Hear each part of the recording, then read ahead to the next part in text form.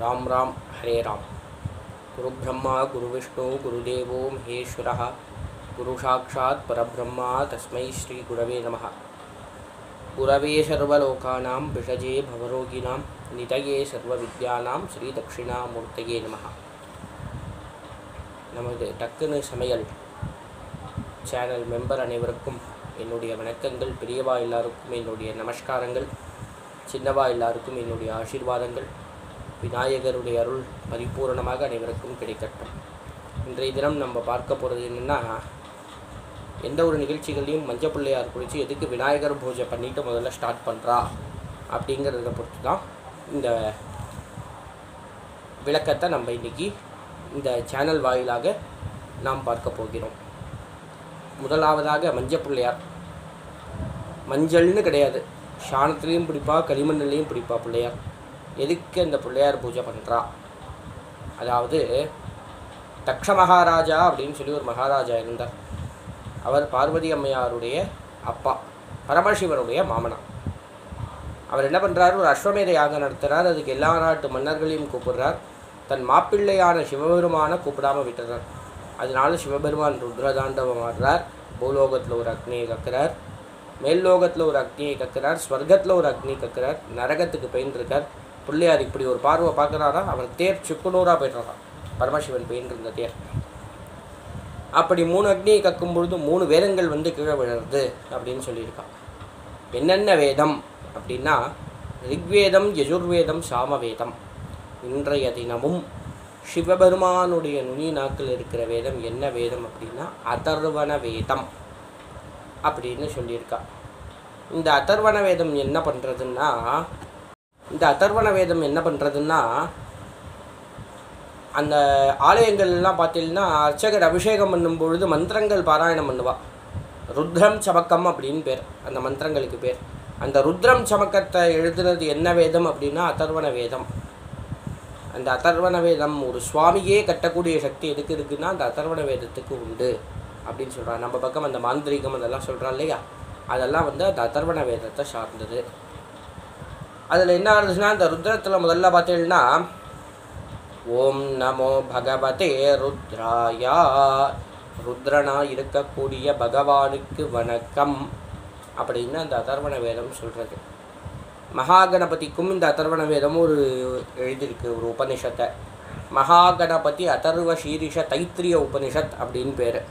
அதில் ஸ்டார்டிங் என்ன சொல்கிறதுன்னா ஓம் நமஸ்தே கணபதையே. சாஷ்டாங்கமாக விநாயகருக்காக இருக்க பிடிச்சின்றது தான் அந்த அதர்வண வேதம்.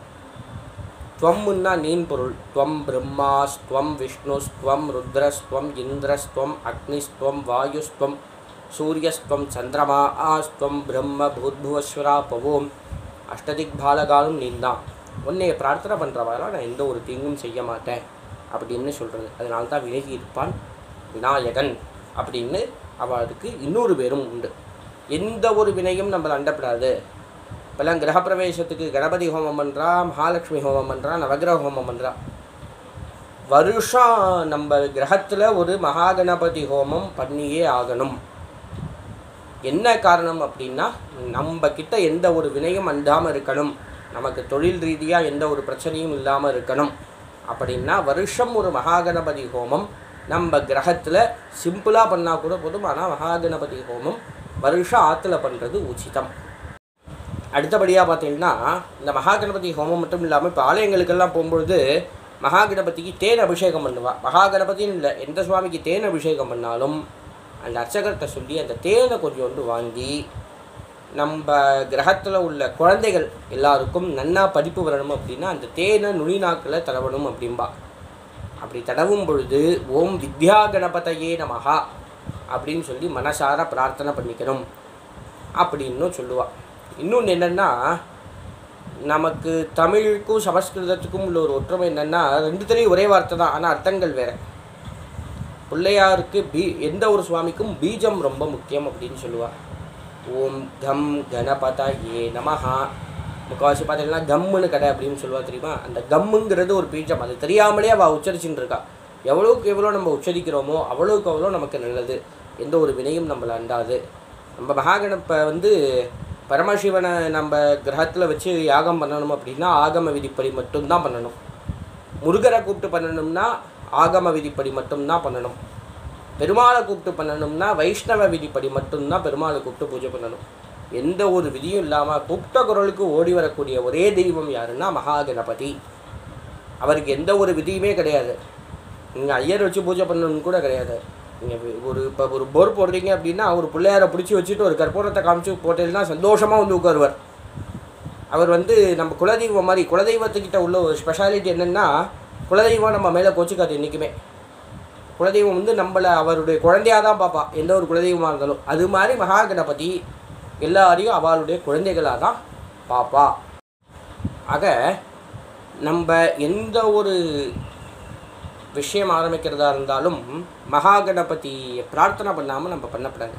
வக்ரதுண்ட மகாகாயா சூரியகோடி சமப்பிரபா நிர்விக்னம் குருமே தேவோ சர்வ காரியேஷு சர்வதா. இதுதான் மகாகணபதிக்குள்ள காரிய சித்தி கணபதிக்குள்ள மந்திரம்.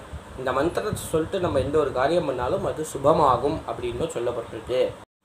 ஆக அப்படி இருக்கும் பொழுது மகாகணபதியை நம்ம எவ்வளவுக்கு எவ்வளோ பிரார்த்தனை பண்ணிக்கிறோமோ அவ்வளவுக்கு அவ்வளோ மகாகணபதி நமக்கு பரிபூரணமான அருளை தருவார். அப்படிங்கிறது நிதர்சனமான உண்மை. ஆகையால் அனைவரும் மகாகணபதி மனசார பிரார்த்தனை பண்ணிக்கோங்க. கேட்காத வரங்களையும் கொடுக்கக்கூடிய ஒரு வல்லமை யாருக்கு இருக்குன்னா மகாகணபதிக்கு உண்டு. நம்ம அதை ஆற்றுல ஒரு குழந்தை பிறந்தாலும் ஜாதகர்மா அப்படின்னு சொல்லுவாள் ஜாதகம் எழுதுவோம். நவகிரகங்களை வச்சு தான் அந்த ஜாதகம். அதில் வந்து சந்திரன் தான் முக்கியம்.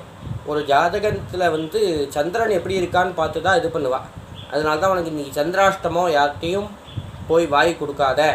உனக்கு இன்றைக்கி சந்திராஷ்டமம் எந்த ஒரு பணப்பட்டு வாடவும் பண்ணாத அப்படின்னு நம்ம வீட்டில் உள்ளவங்கள்லாம் சொல்லுவாங்க. அப்படியாப்பட்ட நவகிரகமும் சாஷ்டாங்கமாக நமஸ்காரம் பண்ணக்கூடிய தெய்வம் எதுன்னா மகாகணபதி. நீங்கள் ஃபோனில் யூடியூப் தளத்திலே போட்டேன்னா மகாகணபதி பஞ்சரத்னன் வரும். முதாகரார்த்த மோதகம் சதா விமுக்தி சாதகம் அப்படின்னு ஆரம்பிக்கும். நீ அதை டெய்லி பாராயணம் பண்ணலாம். பாராயணம் பண்ண முடியலனாலும் அதை கேட்டாலே அவ்வளோ நல்லது.